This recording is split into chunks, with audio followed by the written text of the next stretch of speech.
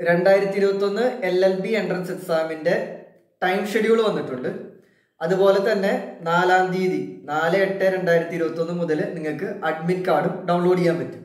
Plus two improvement improvement ഉള്ള സ്റ്റുഡൻസിന് ചെയ്യേണ്ട കാര്യങ്ങളും നോട്ടിഫിക്കേഷനിലുണ്ട് ഞാൻ ആ ലിങ്ക് ഡിസ്ക്രിപ്ഷനിൽ ഇട്ടിട്ടുണ്ട്. നിങ്ങൾ വേഗം കയറിയാൽ നോക്കുക.